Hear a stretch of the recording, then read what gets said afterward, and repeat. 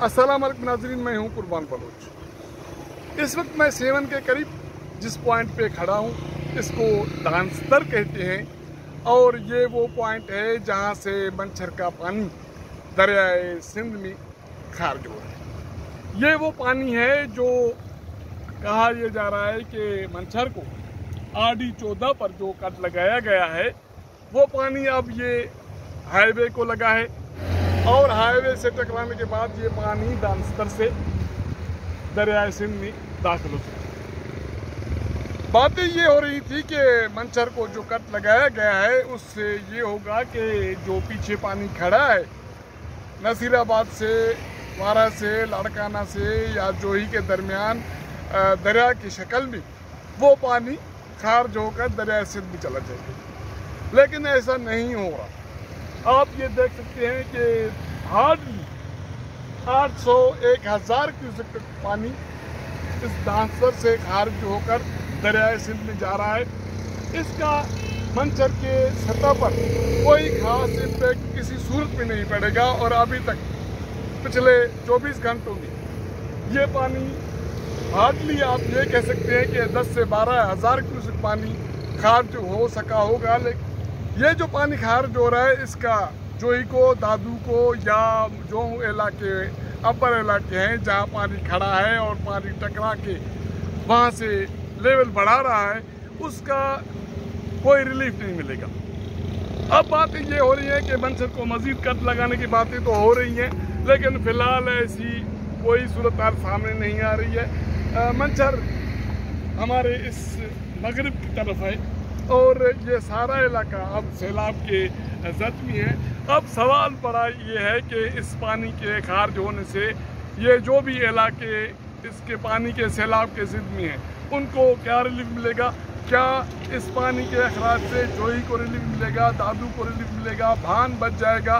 तो फ़िलहाल ये कहना कबल इस वक्त है कि इस पानी के अखराज से किसी भी इलाके को, किसी भी शहर को जो सैलाब के जद में है, उसको रिलीफ मिलना मुमकिन नहीं है।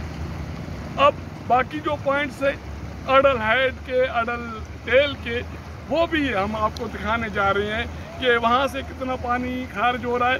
बाकी जिस आरडी पे कट लगाया गया है, कहा यह जा रहा है कि वहाँ पुलिस और आर्मी को तैनात किया गया है। आम लोगों का, मीडिया का और जो भी शहरी अगर वहाँ जाना चाहे, उसके लिए रास्ते बंद कर दिए गए हैं। ये सेवन के साथ का एरिया है, इसको अड़ल वाह कहते हैं। और इसी वाह से जो मच्छर में पानी दाखिल हुआ है जो ही वाला वो पानी खारिज हो रहा है। हालाँकि ये अड़ल जो वाह है, ये इसलिए बनाया गया था कि जब इंडस में पानी दरिया सिंध में बढ़ जाए तो मंछर लेक को फिल किया जाए। लेकिन अब मंछर का जो लेवल है पानी का, वो इतना बढ़ गया है कि इसी केनाल से या जो भी रेगुलेटर है, वहाँ से पानी खारिज हो रहा है। और इस जो ये हाईवे है ये इसको मज़बूत करने के लिए बंदोबस्त किया जा रहा है। ये जो ट्रैक्टर ट्रालीज खड़ी हैं इसमें मट्टी लाई जा रही है ताकि ये जो हाईवे है ये हाईवे दादू को और सेवन को कनेक्ट करता है और ये सेवन से गुज़रता हुआ आ, ये हैदराबाद जाम शोर हो जाता है। तो इसको फ़िलहाल इसका एक साइड जो है वो बंद कर दिया गया है। हेवी मशीनरी यहाँ पहुँची है और इसका ये बंदोबस्त इसलिए किया जा रहा है ताकि सेवन को या इस हाईवे को पानी के डूबने से बचाया जाए। अभी इसी रेगुलेटर के ज़रिए पानी मंचर से खारिज हो रहा है इंडस की तरफ़ और इस हाईवे का एक साइड बंद कर दिया गया है। बाकी एक साइड से ये गाड़ियाँ ट्रांसपोर्ट चल रही हैं और ट्रांसपोर्ट में भी छोटी गाड़ियाँ चल रही हैं, बाकी बड़ी गाड़ियाँ बंद हो गई हैं।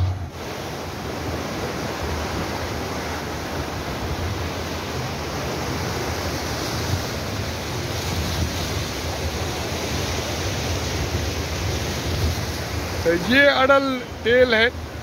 मंचर का पानी यहाँ से खारिज होकर दरियाए सिंध में दाखिल हो रहा है।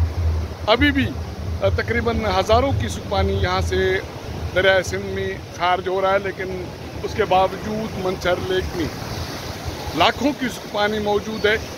और ये दो पॉइंट्स हैं। एक अडल हेड है, एक अडल टेल है, जहाँ से पानी मंचर का खारज होकर दरियाए सिंध में दाखिल होता है। तो हम इस वक्त खड़े हैं, ये अडल टेल पर।